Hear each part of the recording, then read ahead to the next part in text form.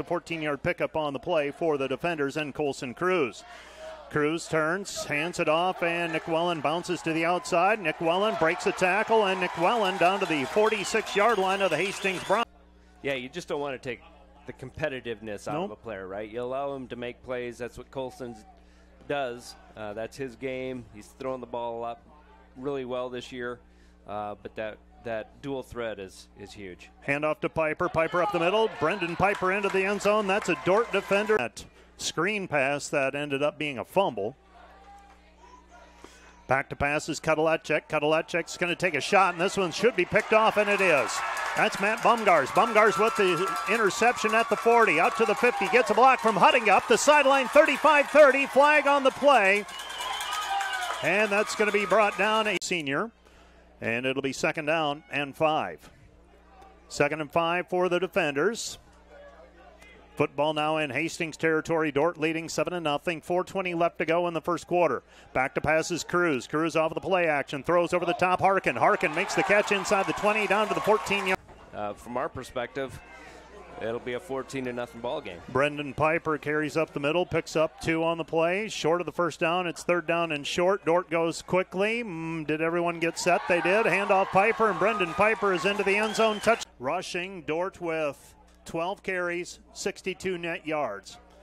Kudelecek brings the offense onto the field, trailing 14 to nothing, and now They the turned the Dordt ball over. defense did they take the football away? 11-10 left to play here in the first half. Defenders down near the uh, down on the Hastings end of the field as well. Colson Cruz, they're going to flip it and on the end around, and that's Queering. Queering racing into the end zone, touchdown. You know, the guy who caught the ball to just finish the play, but get get involved in the play, get downfield, make a pl- block, and you know that was really close to being able to cut back and maybe even get in the end zone. First down and 10 for the defenders now at the Bronco 27 yard line. Handoff Piper. Piper into the end zone. Touchdown defenders. That's the hatch. Stops on the incomplete pass. So third down and 10 for the Broncos at their own 48. Empty out the backfield again.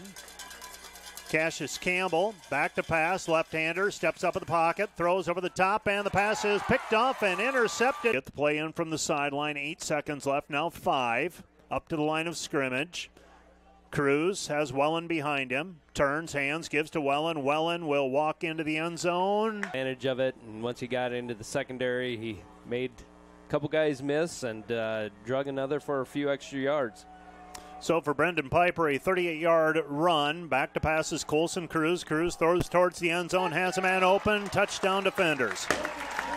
Elliott Beal, in all likelihood, four down territory. Want to extend the drive if you can.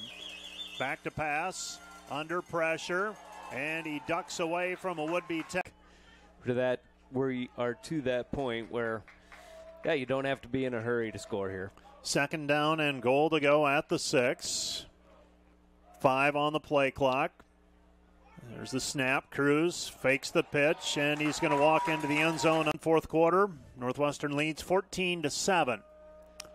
Morningside leads Doane 56 to nothing, and Concordia leads Briar Cliff 28 to six. Handoff up the middle. And the football comes out, and another turnover by the Broncos. The do on offense, uh, they've had a hard time running the ball. There has not been much offense for Midland in that game. Looks like under 200 yards. So their defense has been equal to the challenge. McDaniel pass tipped, and it's caught in the end zone. Touchdown defenders.